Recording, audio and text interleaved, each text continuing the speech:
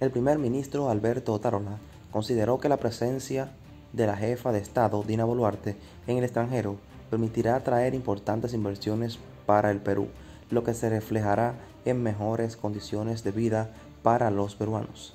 Esta declaración la realizó el Premier en el marco del proyecto de ley presentado por la Presidencia del Consejo de Ministros ante el Congreso de la República, que plantea que la mandataria peruana quede, pueda mantenerse a cargo del despacho presidencial a través de tecnologías digitales durante sus viajes al exterior.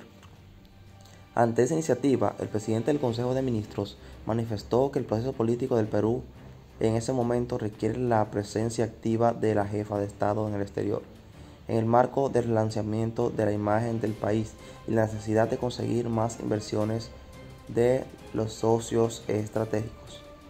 Asimismo, Otárola argumentó que es importante que la jefa de Estado cumpla plenamente con su función de dirigir la política exterior para afianzar la imagen del Perú ante ataques de gobernantes con otras posiciones ideológicas. También el Premier comentó que se puede discrepar en todo lo que significa el frente político interno, pero sostuvo que se necesita fortalecer la política internacional del Perú. Esta tiene que ser encarnada por la Presidenta de la República para defender los intereses del país en el exterior. Esto remarcó Otárola. En tanto, la titular del Ministerio de Relaciones Exteriores, Ana Cecilia Gervasi, también sustentó dicha iniciativa.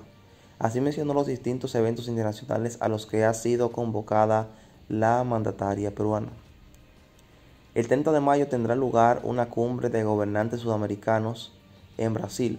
En julio se realizará la cumbre USLAC en Bruselas y en septiembre se llevará a cabo la Asamblea General de las Naciones Unidas. Además, la funcionaria diplomática señaló que en noviembre el Perú recibirá la presidencia de la APEC, el foro económico más importante de Asia-Pacífico, por parte de Estados Unidos, en la ciudad norteamericana de San Francisco. La iniciativa denominada Ley que modifica la Ley Orgánica del Poder Ejecutivo para desarrollar el encargo y gestión remota del despacho de la Presidencia de la República es la propuesta ante un escenario donde el presidente no cuente con vicepresidentes en ejercicio. Sin embargo, algunos expertos en derecho constitucional se demostraron en contra de dicha medida. La Cancillería peruana destacó las declaraciones del Ministerio de Relaciones Exteriores de Chile, en las cuales ratificaron su respaldo al Perú para ocupar la presidencia de la Alianza del Pacífico, de acuerdo con medio chileno. La entidad chilena mantuvo su posición de reconocer la sucesión constitucional de la presidenta de la República, Dina Boluarte, luego del fallido golpe de Estado del expresidente Pedro Castillo.